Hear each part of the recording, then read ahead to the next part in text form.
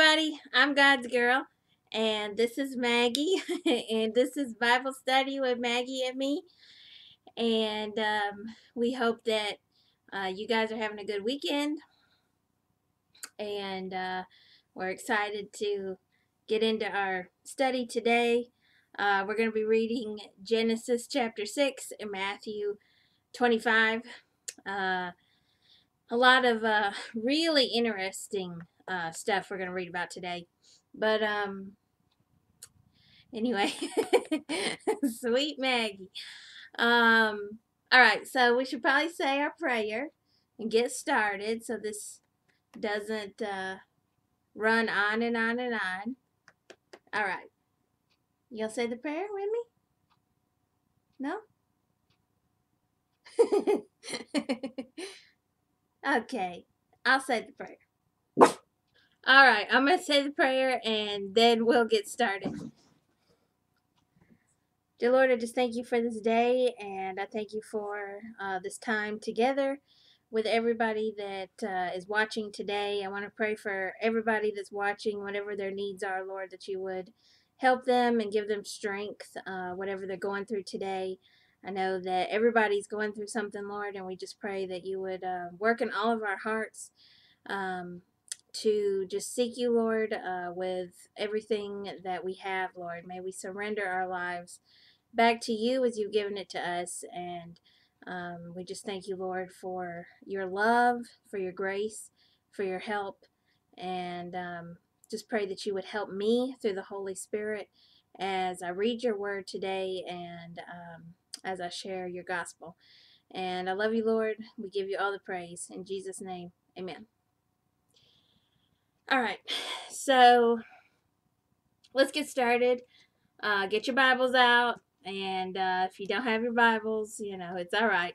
Um, I'll put the words on the screen, but let's get started in uh, Genesis chapter 6. And it says, When men began to increase in number on the earth, and daughters were born to them, the sons of God saw that the daughters of men were beautiful, and they married any of them they chose. Then the Lord said, My spirit will not contend with man forever, for he is mortal. His days will be a hundred and twenty years. The Nephilim were on the earth in those days, and also afterward, when the sons of God went to the daughters of men and had children by them. They were the heroes of old, men of renown. The Lord saw how great man's wickedness on the earth had become, and that every inclination of the thoughts of his heart was only evil all the time. The Lord was grieved that he had made man on the earth, and his heart was filled with pain. So the Lord said, I will wipe mankind, whom I have created, from the face of the earth, men and animals and creatures that move along the ground and birds of the air, for I am grieved that I have made them. But Noah found favor in the eyes of the Lord. This is the account of Noah. Noah was a righteous man, blameless among the people of his time, and he walked with God. Noah had three sons, Shem, Ham, and Japheth. Now the earth was corrupt in God's sight and was full of violence. God saw how corrupt the earth had become, for all the people on earth had corrupted their ways. So God said to Noah, I am going to put an end to all people, for the earth is filled with violence because of them. I am surely going to destroy both them and the earth. So make yourself an ark of cypress wood. Make rooms in it and coat it with pitch, inside and out. This is how you are to build it. The ark is to be 450 feet long, 75 feet wide, and 45 feet high.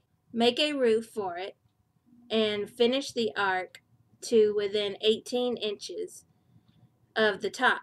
Put a door in the side of the ark and make lower and middle and upper decks. I am going to bring floodwaters on the earth to destroy all life under the heavens, every creature that has the breath of life in it. Everything on earth will perish, but I will establish my covenant with you, and you will enter the ark, you and your sons and your wife and your sons' wives with you. You are to bring into the ark two of all living creatures, male and female, to keep them alive with you, two of every kind of bird, of every kind of animal, and of every kind of creature that moves along the ground, will come to you to be kept alive. You are to take every kind of food that is to be eaten and store it away as food for you and for them. Noah did everything just as God commanded him. And that is the end of chapter 6. and um, wow, what an interesting time uh, in the world.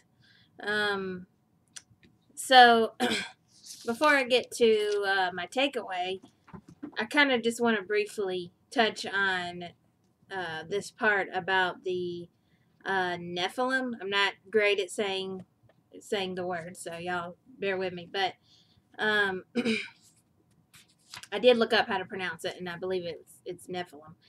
And um, the deal with them is that you know it says that um, the Nephilim were on the earth in those days, and also afterward, when the sons of God went to the daughters of men and had children by them, they were the heroes of old, men of renown.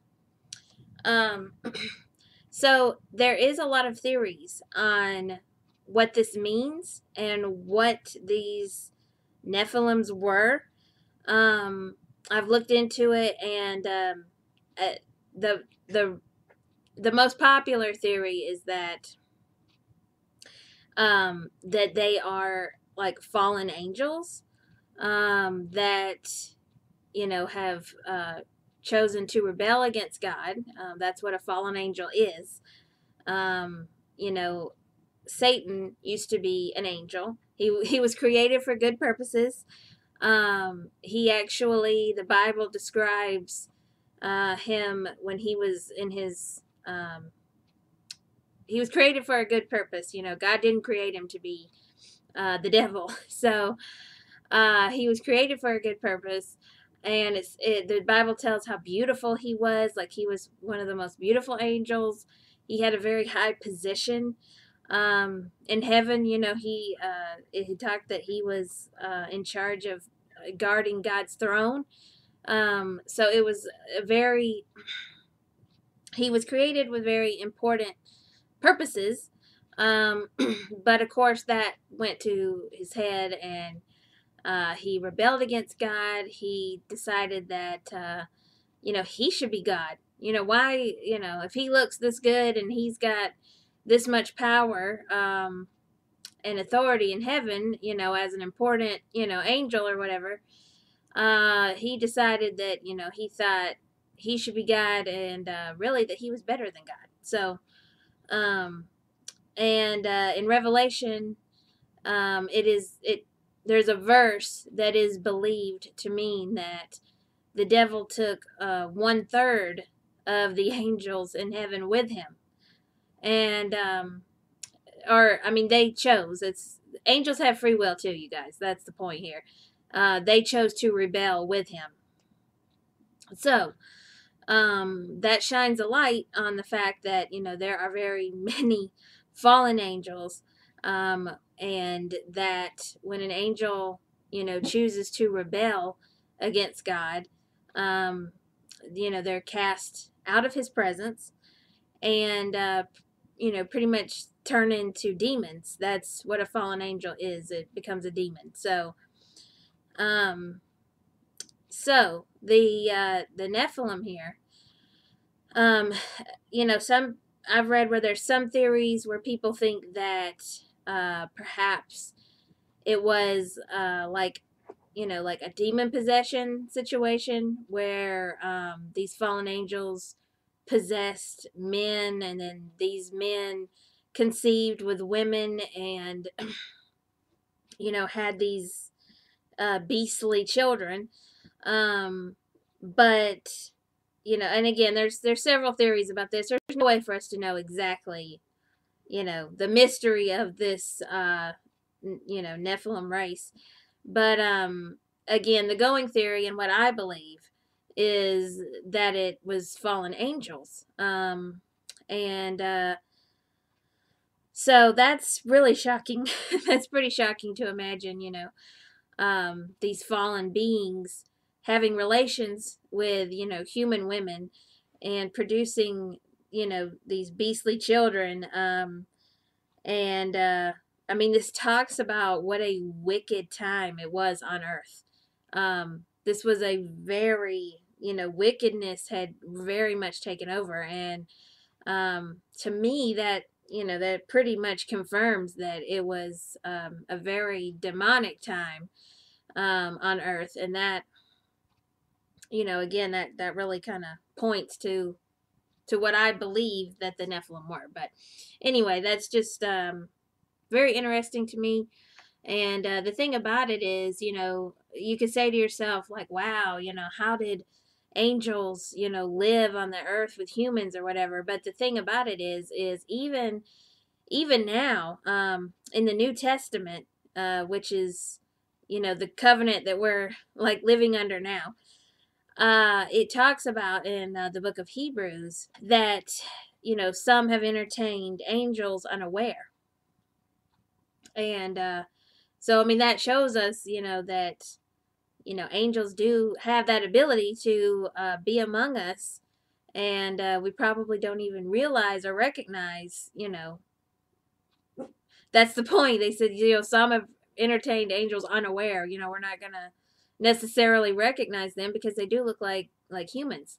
Um, uh, there's no account in the Bible that says that angels have wings uh, first off, and um, I mean, of course, they wouldn't in in uh, in this world, but I don't think they they ever did. I, I don't know. It, it doesn't it doesn't say. You know, there's no account for angels ever having wings.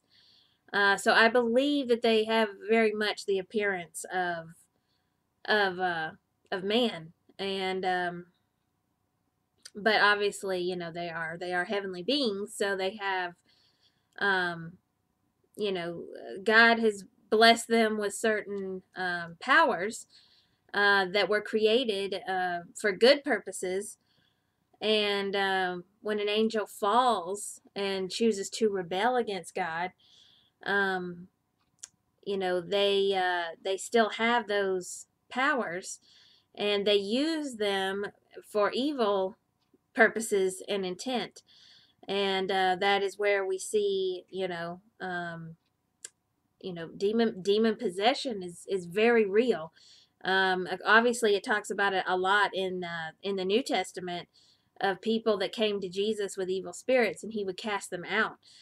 But uh, anyway it's very real. Um, you know it's not something to to play around with and mess around with you don't want to mess around with the devil you guys um, it's not it's not good. The Bible tells us that uh, Satan is out to steal, kill, and destroy us. Um, you know, he knows he messed up with God.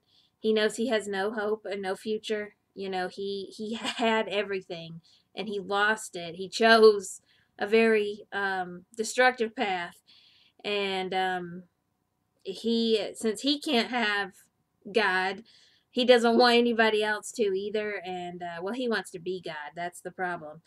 And um you know he wants that that glory and that praise and you know he's out to take as many people with him to damnation as possible so um but anyway i i don't want to get too far off uh track here because i do want to get to my takeaway which is uh genesis 6 7 through 8 which says, So the Lord said, I will wipe mankind, whom I have created, from the face of the earth, men and animals and creatures that move along the ground, and birds of the air, for I am grieved that I have made them.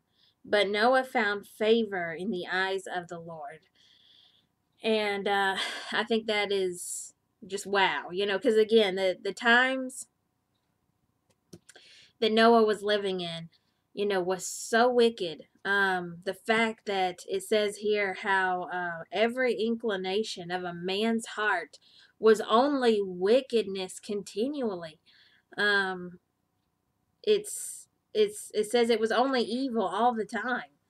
Um, wow, you know what a what a time and uh, so, you know, this this level of uh, wickedness, you know, God could not bear. Is that it caused him, um, it caused his heart great pain, and uh, he was grieved. You know, he was grieved at the times.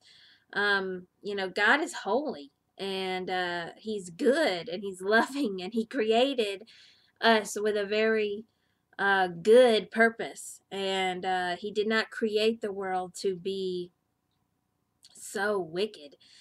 And um, yeah, so it it had to be, you know, the earth had to be to be judged um, at this time. And what's so amazing though is that you know is that it says Noah you know, was uh, a righteous man, blameless among the people of his time, and he walked with God. And, um, you know, that reminds me of uh, Enoch, what we had talked about, how it said that he walked with God. And, um, you know, God spared Enoch death. And uh, in a sense, he also spared Noah uh, because, you know, God's plan was to uh, to d- destroy the earth with a flood uh, because the wickedness was so great that it grieved his heart. And uh, but Noah, you know, found favor in the eyes of God because he walked with God, and uh, God spared Noah and his family, you know, the the death of that time. And um, you know, it's just something that um, you know, I find very um, incredible and I find very uh, inspiring um, that Noah, you know, found favor in the eyes of, of the Lord. And uh, that doesn't mean that, you know, that he, that's not telling us that Noah was a perfect person. You know, I don't believe Enoch was a perfect person. I don't believe anybody um, in this life, in this world, you know, is uh, is perfect. Um, but what it tells us is that he walked with God and God came first. That's the point. There's the same with Enoch. You know, when it says when it says somebody walked with God, that means they sought God first in their life, in their affairs, in you know, the events of their life. You know, they sought God first. God came first. He was important to them and um, it you know it really came down to um, like it does today a relationship with god they had a relationship with god and um, you know it's just it's very uh, inspiring to us um, as christians today you know to um, you know to put god first. Like it's you know it, again it's a relationship we should want to. Um so, anyway, I just, you know, that's something to take away to really say to ourselves, you know, um, you know, I want to, you know, I want to be like that. I, I want to walk with God. I want to know Him, you know, so personally. Um, and you know have a a deep relationship with him that's what he wants from us and that is what set these people apart in their time um you know it was their relationship with god was important and that's what set them apart in god's eyes you know they gave their lives back to their creator and um you know that was that made the, that's what made them special um, in God's eyes was that he, you know, he came first. And um, it's a very beautiful and special thing when we, as God's creation, um, give our lives back to our Creator. That's very special to God. Um, like I said, this is a relationship. He wants a relationship with His creation. And um, so it's very, you know, it's a very powerful thing when we do that. And um, so, yeah, I just, I love that, you guys. I love it. All right, let's read uh, chapter 25 of Matthew now. At that time, the kingdom of heaven will be like ten virgins who took their lamps and went out to meet the bridegroom. Five of them were foolish, and five were wise. The foolish ones took their lamps, but did not take any oil with them. The wise, however, took oil in jars along with their lamps. The bridegroom was a long time in coming, and they all became drowsy and fell asleep. At midnight the cry rang out, Here's the bridegroom, come out to meet him. Then all the virgins woke up and trimmed their lamps. The foolish ones said to the wise, Give us some of your oil. Our lamps are going out. No, they replied, there may not be enough for both of us and you. Instead, go to those who sell oil and buy some for yourselves. But while they were on their way to buy the oil, the bridegroom arrived. The virgins who were ready went in with him to the wedding banquet, and the door was shut. Later the others also came. Sir, sir, they said, open the door for us. But he replied, I tell you the truth, I don't know you. Therefore keep watch, because you do not know the day or the hour. Again, it will be like a man going on a journey who called his servants and entrusted his property to them. To one he gave five talents of money, to another two talents, and to another one talent, each according to his ability. Then he went on his journey. The man who had received the five talents went at once and put his money to work and gained five more. So also the one with the two talents gained two more. But the man who had received the one talent went off, dug a hole in the ground, and hid his master's money. After a long time, the master of the servants returned and settled accounts with them. The man who had received the five talents brought the other five. Master, he said, you entrusted me with five talents. See, I have gained five more. His master replied, Well done, good and faithful servant. You have been faithful with a few things. I will put you in charge of many things. Come and share your master's happiness. The man with the two talents also came. Master, he said, you entrusted me with two talents. See, I have gained two more. His master replied, Well done, good and faithful servant. You have been faithful with a few things. I will put you in charge of many things. Come and share your master's happiness. Then the man who had received the one talent came. Master, he said, I knew that you are a hard man, harvesting where you have not sown, and gathering where you have not scattered seed. So I was afraid, and went out and hid your talent in the ground. See, here is what belongs to you. His master replied, You wicked, lazy servant. So you knew that I harvest where I have not sown, and gather where I have not scattered seed. Well, then, you should have put your money on deposit with the bankers, so that when I returned I would have received it back with interest. Take the talent from him and give it to the one who has ten talents, for every one who has will be given more, and he will have an abundance. Whoever does not have, even what he has will be taken from him. And throw that worthless servant outside into the darkness, where there will be weeping and gnashing of teeth. When the Son of Man comes in his glory, and all the angels with him, he will sit on his throne in heavenly glory. All the nations will be gathered before him, and he will separate the people one from another, as a shepherd separates the sheep from the goats. He will put the sheep on his right and the goats on his left. Then the king will say to those on his right, Come, you who are blessed by my Father, take your inheritance the kingdom prepared for you since the creation of the world. For I was hungry, and you gave me something to eat. I was thirsty, and you gave me something to drink. I was a stranger, and you invited me in. I needed clothes, and you clothed me. I was sick, and you looked after me. I was in prison, and you came to visit me. Then the righteous will answer him, Lord, when did we see you hungry and feed you, or thirsty and give you something to drink? When did we see you a stranger and invite you in, or needing clothes and clothe you? When did we see you sick or in prison and go visit you? The king will reply, I tell you the truth, whatever you did for one of the least of these brothers of mine, you did for me. Then he will say to those on his left, Depart from me, you who are cursed, into the eternal fire prepared for the devil and his angels. For I was hungry, and you gave me nothing to eat. I was thirsty, and you gave me nothing to drink. I was a stranger, and you did not invite me in. I needed clothes, and you did not clothe me. I was sick and in prison, and you did not look after me. They also will answer, Lord, when did we see you hungry or thirsty or a stranger or needing clothes or sick or in prison and did not help you? He will reply, I tell you the truth, whatever you did not do for one of the least of these, you did not do for me. Then they will go away to eternal punishment, but the righteous to eternal life. And that is the end of chapter 25. And uh, Jesus is um, talking about uh, the judgment at the end of time.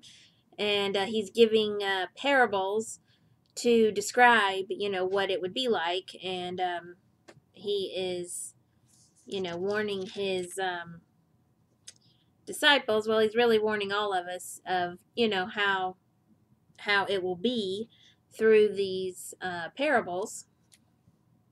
And um, so the deal is, is uh, I do want to talk a little bit here about the parable of the um, talents because I think this parable can be kind of confusing. I know that it's been kind of confusing to me in the past, and um, I have looked into it further to really figure out what exactly is, um, you know, Jesus trying to explain to us here.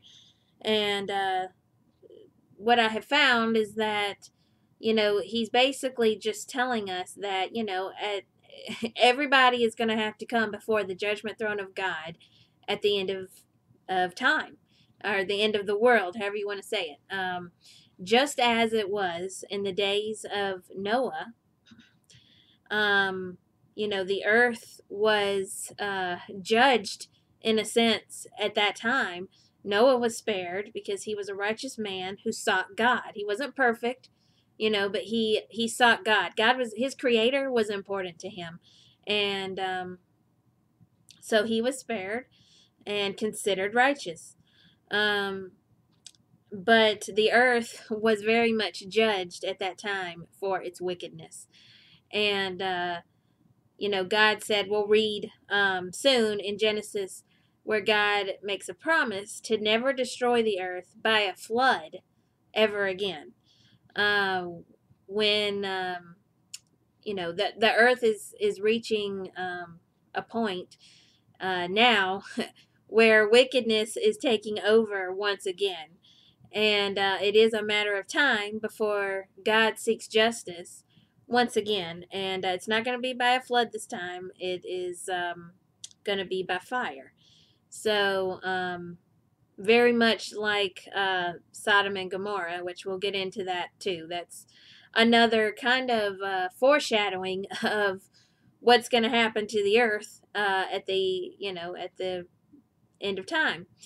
Um, God destroyed Sodom and Gomorrah with fire, and that's how it's going to go down once again. So, um, but uh, but anyway, so you know the earth is going to have to be judged once again, but it's going to be judged once and for all um, this next time, and uh, you know it's it's a good thing because for us that um, that know the Lord, you know we're going to get to um, to be with him forever. He's going to create a new a heaven, a new earth um, for us to live in with him for all eternity. It's very hard to wrap our uh, our our brains around forever, but um, it's a wonderful thing. But the point here is that uh, we all will have to come before the judgment seat of God and uh, give an account for our life, and that's what's being that's what is the point of the parable here about the talents. And um, that we will, you know, have to give an account for, um, you know, how well we took care of what we have and um, the blessings He gives us, and, um, you know, just um, our actions, you know, our actions. And that's what the parable of. Uh, the the one here at the end where it talks about how we will be divided right and left, the sheep on the right, the goats on the left, and uh, how Jesus says, you know, well, I was hungry, you gave me food, I was thirsty, you gave me drink, you looked after me, you know, and the righteous say, when do we do this? And he said, well, when you did it for someone else, you did it for me. And um, again, that really highlights how, you know, we should serve others above ourselves. Jesus did that in his time on the earth, and he set the example and the standard for us, and uh, we should follow that same um, example. But again, it, it does, this does tie in with the parable of the talents because again, it's giving an account for our life, you know, and um, you know, even the righteous, you know, are going to come before the throne of God and have to give an account. Um, now, it doesn't mean that you know that we will be um, condemned. You know, uh, we're saved you know, through our faith in Jesus Christ. And uh, He gives us, you know, a new life in Him when we come to Him. Um, but again, you know, we um, will have to give an account for, you know, the way we lived our life, um, how well, you know, how well we uh, took care of the gift that He's given us, and by giving us this new life, you know. Um, and it's also worth pointing out that it, it talks about here that uh, the unrighteous, of course, um, those that did not accept the Lord, uh, they did not give any heed to His word. Um, you know, maybe those that just don't even believe in God, don't believe in this, in this, in His word, don't believe in Jesus, don't believe in any of that. Um, uh, you know, those who live for themselves, live for the flesh, don't care about anybody else. Um, you know, their judgment will be uh, as it is for the devil and his angels. And um, it says how uh, that those on the left, Jesus will say, Depart from me, you who are cursed, into the eternal fire, prepared for the devil and his angels. So I know that I had mentioned, um, I think in the last video, how, you know, hell was not created for mankind. God loves mankind. Um, you know, we learned in Genesis 1 how we are uh, the favorite creation of God. Mankind, you know, God loves us so much. He didn't create hell for us. He has no uh, hope or intention for us to end up there. We send ourselves there. And, um, but hell was created for the devil and the fallen angels. Uh, but that is our destiny unless, you know, we choose to uh, repent of our sinful nature and, um, and turn and follow, you know, our, our Savior. Um, so that gets to my takeaway. that brings me to my takeaway quickly here. Um, my takeaway is Matthew 25, 46, where it says, Then they will go away to eternal punishment, but the righteous to eternal life. And um, I won't get too long winded on, on this because that really explains it all. Um, uh, like I said in the last video, you know, when you die, uh, you're to spend forever in one or two places. Um, there's no middle ground. There's no, you know, uh, let me, maybe I'll create some kind of, you know, heaven for myself or whatever I want it to be. It will be. Let me will it into being or anything weird like this. It's not like that at all. This book is very clear that uh, there's two places you go when you die. And, um, you know, you're and that you're gonna spend forever there. All right, sorry you guys, my uh, my sound cut out um, on that uh, last recording I was doing. I'm glad that I caught it before I got to the editing stage. Um, but anyway, just quickly, uh, the point I was trying to get to was that uh, God made our inmost being, our spirits, uh, to live forever. You know, we are all spirits in a flesh uh, shell. And when we die, you know, our flesh stays here and our spirit goes on to the next life. God made our spirits to live forever. And uh, so that means that when we get to um, to the next life, you know, it's going to be forever. So uh, you're going to live in one or two places forever. And um, God does not want it to be hell. He doesn't want to, you know, he doesn't want to see anybody go there. Uh, he died for all, and um, he wants to spend eternity with you. So, uh, my point is that, uh, you know, to seek Him, seek Him and find Him now, you guys, while there's still time.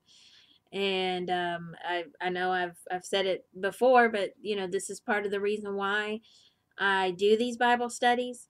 Um, I have you know such a, a passion for God's word, but I have such a burden uh, for for mankind, and um, I know that God doesn't want anybody to perish for all eternity, and you know, and I don't either. I don't want anybody um, to go to hell. So, um, you know, I ask you guys if this is, you know, if this is all foreign to you and uh, you don't know God personally, you're not walking with God. Um, you know, the way it says Noah walked with God, you know, he sought God first and his creator came first in his life. And, um, you know, that's how we should all, that's how we should all be. It, like I said, it pleases God so much uh, when his creation you know gives their lives back to to him the creator. So i just ask you guys you know if you if you don't know god personally and um and you're curious and you want to you know get in his word you will learn all about him um his ways uh his heart his love um his patience uh, his compassion. You know, the his word is just full of his uh, his holy and beautiful nature. And um, but turn to him today with an honest and sincere prayer from your heart. That's all it takes, you guys. Um, repent of your sins. Ask Jesus to help you overcome your sinful nature, to give you his Holy Spirit. And um, his Holy Spirit will come and dwell in you. And uh, you will suddenly want to obey uh, this book and you will you will want to obey God because you love him. Um, it's just like a child with their parent. You know, we don't want to disappoint our parents. You know, as children, we we we don't want to disappoint them. We don't want to dishonor them. You know, we want to obey. We want to make them happy. We want them to be proud of us. You know, and it works the same way. You know, with God. You know, because we love him, we want to obey him. Jesus says, Those who love me will obey my word. And uh, that's how we show our love for God, you know, is by uh, being obedient. And, um, you know, it doesn't mean that, you know, we don't make mistakes and all of this, but, you know, it's, we suddenly have a desire in our heart to please Him and uh, to want to live for Him and uh, the things that break his heart starts to break our hearts you know that's the work of the holy spirit um, in us and it's pretty amazing and uh, so i ask you guys turn to him today. Um, he's ready. He wants a relationship with you. He's right there with you right now. You know he knows your whole life. Um, he knows he knew you before you were born before you were conceived he knows the day you're going to die. He knows every detail about you because he loves you that much. He concerns himself uh, with you, with your life, with the things you're going through. And uh, he just wants you to turn to him. He wants you to ask um, for forgiveness, ask for help. And uh, he is willing to set you free and, and make you new today. Give you strength for life's trials. You know, it's it's hard. Life is hard. Um, it's hard for everybody, but um, Jesus gives us a, a peace to get through it, to get through the struggles, and it's just beautiful. It's beautiful, you guys. So, all right, I'm going to end it right here and say that if you guys have, you know, comments or questions or prayer requests, please leave them in the comments below. And if you don't feel comfortable leaving it below, please seek my email that is in the description. I would love to hear from you guys. And please know that I am praying for all of you. Um, I ask you to pray for me too. And uh, I don't think that little Maggie's going to tell us bye because she's uh, gotten very comfortable. And uh, tell everybody bye. Just look up a minute. There we go. all right. oh my gosh, she's crazy. Okay. Um, okay, we'll see you guys in the next video. Bye.